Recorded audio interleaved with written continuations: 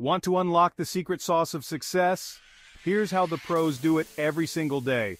Successful people start their mornings with purpose. They're up before dawn, meditating, exercising, or planning their day. This isn't just about waking up early, it's about setting the tone. Next, they're big on goal setting. Not just any goals, but smart goals. Specific, measurable, achievable, relevant, and time-bound. This clarity turns visions into actionable steps. Here's a kicker, they read. A lot. Whether it's books, articles, or reports, they constantly feed their minds with new ideas and perspectives. And yes, they network like pros. Building relationships isn't just about collecting contacts, it's about cultivating meaningful connections that can open doors down the line. Last but not least, reflection. Each day, successful folks take time to reflect on what went well and what could be better. This self-awareness is key to continuous improvement. Start integrating these routines into your life and who knows, maybe you'll be the subject of a video like this one day.